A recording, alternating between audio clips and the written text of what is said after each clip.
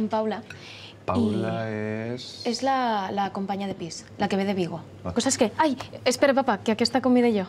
Pot pareixer poca cosa, però els 30 milions d'euros que hem destinat a obra social en els últims anys estan creant majors oportunitats perquè els nostres joves troben el seu primer treball i puguen començar amb la seva pròpia vida. Sembla poc, però té un valor incalculable. Descobreix el valor incalculable de ser client de Caixa Ontinyent. A veure, no te flipes que continue siguent mon pare. Caixa Ontinyent patrocina este informatiu.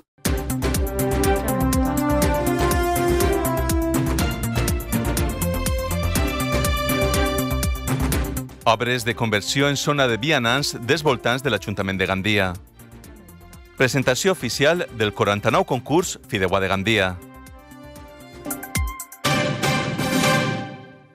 Gandia inicia dilluns que ve, 3 de juny, un canvi radical dels carrers adjacents a la Casa Consistorial. Es tracta de la regeneració d'una zona del centre històric que s'adequa a la fisonomia d'altres carrers d'esta barriada, que en el seu moment sí que van ser convertides en una àrea per a vianants.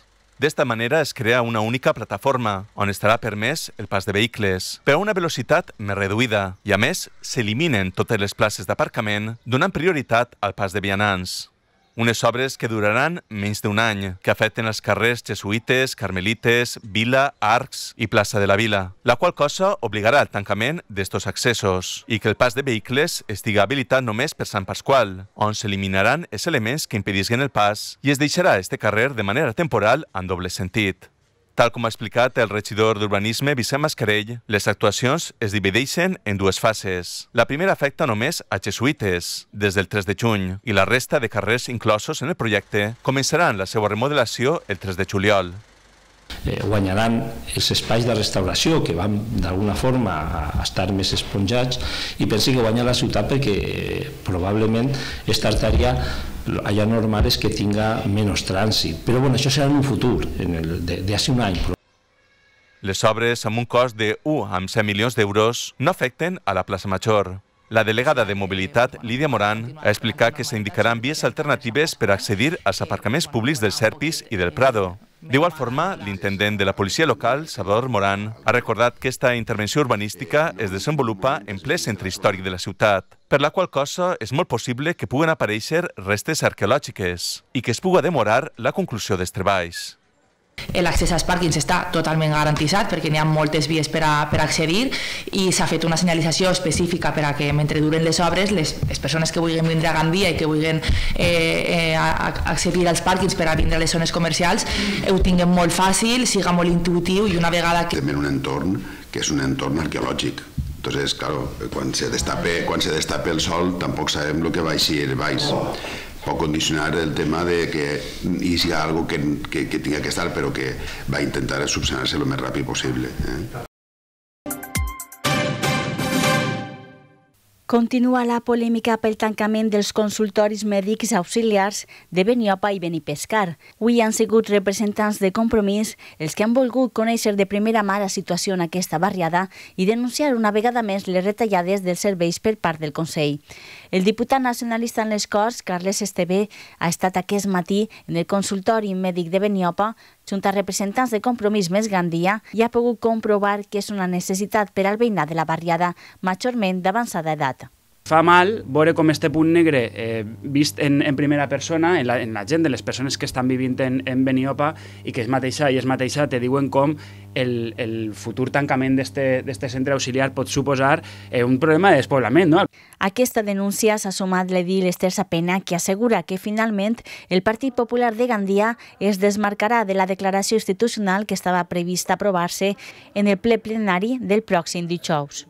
Hem de dir que anem a estar ahí, que el poble de Beniapa va a mobilitzar-se i avui ens ho han demostrat, que sense fer cap tipus de convocatòria, simplement en, en anar allí per aquell in situ ell poguera veure quina és la situació real, perquè s'està dient que el consultori no té eh, les característiques adients per a fer de consultori i ella ha pogut veure que és completament mentida.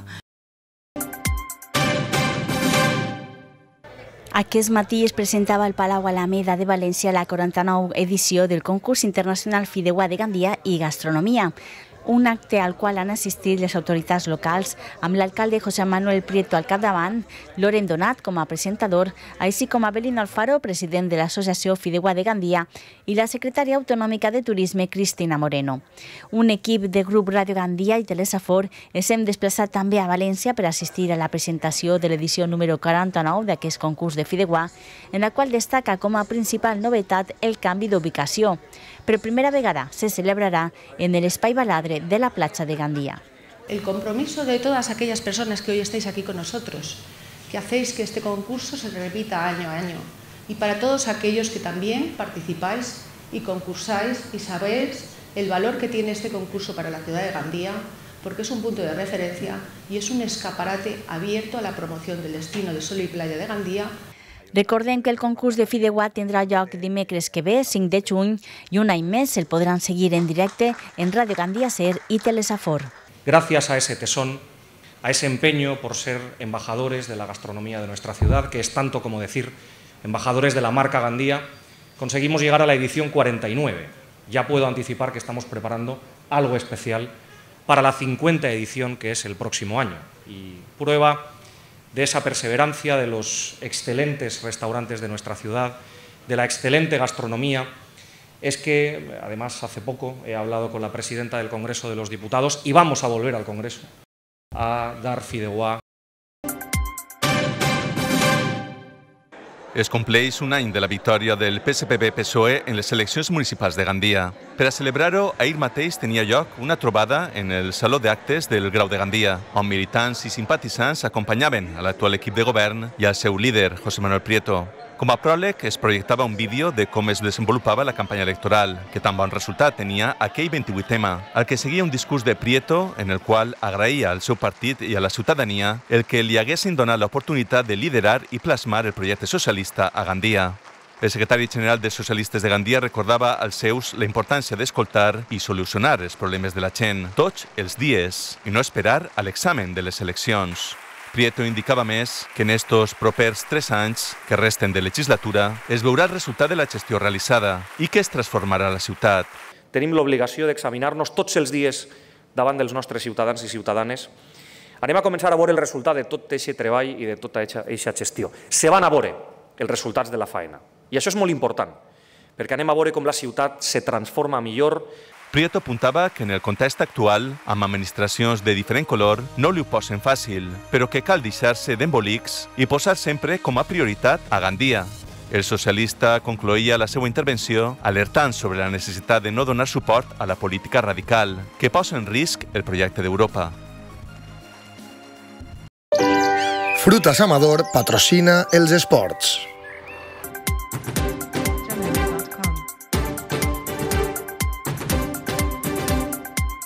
El Club Atletisme Saforteica ha disputat este cap de setmana en Castelló la tercera jornada del Campionat d'Espanya de Clubs en Primera Divisió, l'octogonal d'ascens a Divisió d'Honor, amb els seus dos equips absoluts, el masculí i el femení.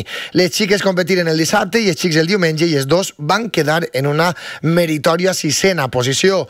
Les xiques van quallar una excel·lent actuació, sent molt competitives en tot moment, en una final en la que es va imposar el Cornellà Atlètic amb 114 punts, seguit del Marató de Madrid amb 101. Estos dos equips pujaran a Divisió d'Honor i es va tancar el pòdium amb el Ria Ferrol amb 99. Completaren la classificació l'Sprint de Madrid amb 97 punts, el Pontevedra amb 94, el Teica, 6è amb 89, el Oviedo Atletismo amb 77 i tancava l'atletisme femení del Celta de Vigo amb 47. Per la seva banda, l'equip masculí també va ser sisè. Va guanyar l'atletisme del Sur de Motril amb 105 punts i el va seguir l'UCAM Cartagena amb 100 punts. Equips que ascendran a Divisió d'Honor.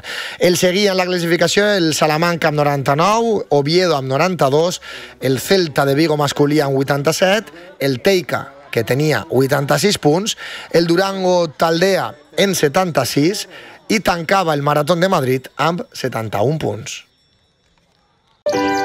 Frutas Amador patrocina els esports.